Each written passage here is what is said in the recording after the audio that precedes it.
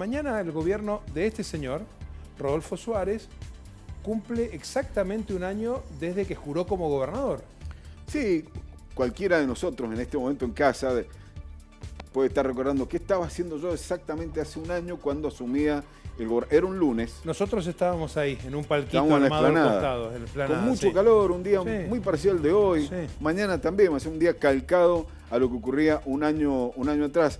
Entonces, todos los balances que podemos hacer o análisis son subjetivos, evidentemente. Entonces, tomamos eh, algunos dichos de ese día, del 9 de diciembre del año pasado, con otro día fundamental en el gobierno de cualquier gobernador particularmente y, especialmente de, Suárez, que fue el 1 de mayo ante la Asamblea Legislativa. Entonces, en el medio hubo el arranque de la pandemia y la pandemia cruzó absolutamente toda la gestión, como ha ocurrido, es una pandemia planetaria que nos afectó básicamente a todo. Entonces, tomó tres o cuatro cositas. esta es la imagen del primero de mayo un primero de mayo con una guardia policial todos con barbijo, el vicegobernador, el gobernador, el presidente de la Cámara de Diputados, Peti Lombardi, todos con barbijo. ¿Ves que diferente, no? A lo que pasaba Pero totalmente, el 9 de diciembre. abrazo y beso Otro país, otra provincia. Otra, mira, con una legislatura vacía, vacía. todo virtual, en donde también la gestión se transformó por esto de la virtualidad de las decisiones o cuál es tu análisis? Eh, por las necesidades y por las urgencias. Evidentemente la, pandemia rompió con el plan, si es que lo tenía el gobernador eh, Rodolfo Suárez, si es que tenía eh, ese plan, no lo vamos a objetar. Él llegó con un, un, plan como pudo haber llegado también Alberto Fernández y el 20 de marzo cambió todo, absolutamente todo. Entonces, un país, una provincia era la del 9 de diciembre y otra muy distinta, la de mayo cubrimos las dos cosas, más o menos juntamos y, vamos a ver si coincidís en este balance y vamos a ir eh, analizando un poquito lo que, lo que se planteó el gobernador. Nosotros decimos luces y sombras, lo que está en el debe y en el haber, buenas y malas.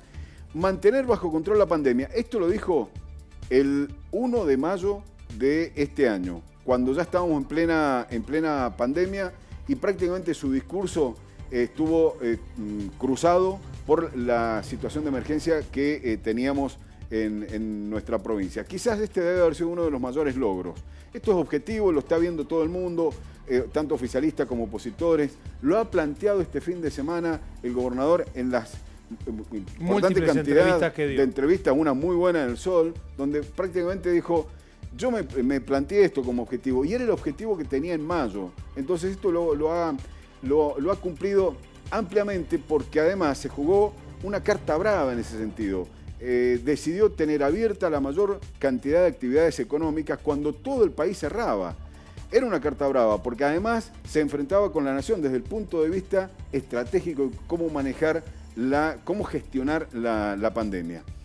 Me planteé también, dice Suárez, el cuidado de empresas, del tamaño que sean, y acá puede haberlo cumplido de acuerdo con las posibilidades que tenía la provincia. Evidentemente, sus ministros, particularmente Nieri, fueron a la Nación varias veces a pedir recursos para apoyar a las empresas. Entonces, puede estar dentro de la vera. Autoridad, dijo, austeridad, se planteó esto en el 9 de diciembre y también lo hizo en mayo.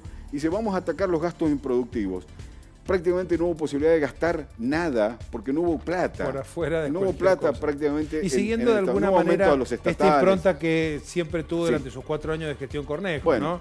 Hablando mucho de gastos improductivos, de austeridad. Pero se planteó cuando asumió bajar el gasto de la política, ya lo vas a ver en otra, en otra placa, porque tiene que ver con algo que no está eh, del, todo cerrado. Sí, vamos. Acá viene la reforma institucional y la reforma educativa. Atamos estos dos objetivos que cuando perdió la posibilidad de implementar y desarrollar a gran escala la minería en la provincia o en aquellos lugares en donde había licencia social, que ya lo veremos sobre el final en la próxima placa, el gobernador se planteó, bueno, voy a ir detrás de dos objetivos importantes, la reforma de la Constitución, que él la llama reforma institucional, y la reforma educativa, que es otorgarle a la provincia una nueva ley de educación que no tenemos desde el año 2006 o a adaptarla a la ley nacional. Ninguna de las dos cosas está cumplida.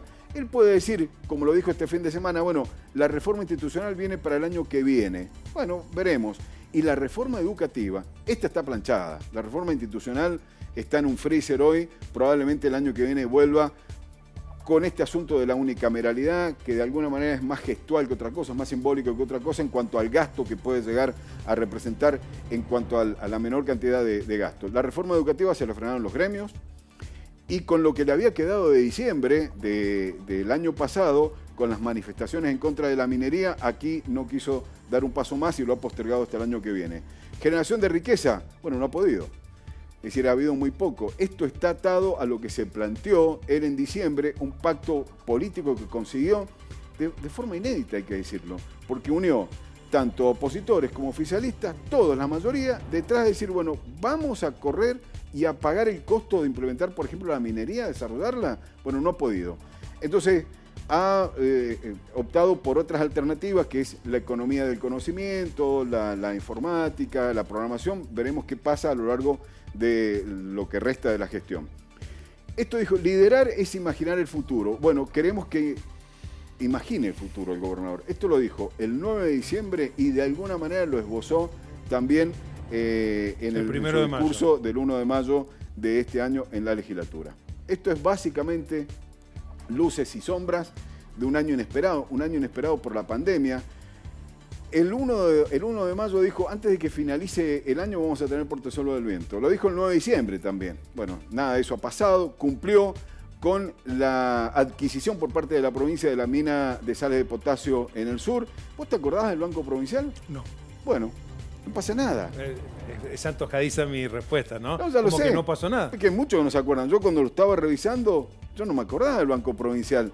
Mirá vos, ¿qué pasó con el Banco Provincial? No ha pasado nada por el momento. Y esto sí se pone en marcha mañana. el jueves. Justo en el momento del primer año de gestión. Consejo Económico y Social, que tiene, va a tener como 70, 80 integrantes. Representantes. Eh, y varios intendentes, los ex gobernadores. Esto es bueno eh, para la institucionalidad de la provincia todos los ex gobernadores van a participar y han confirmado su presencia. Gracias, Marcelo. Bien.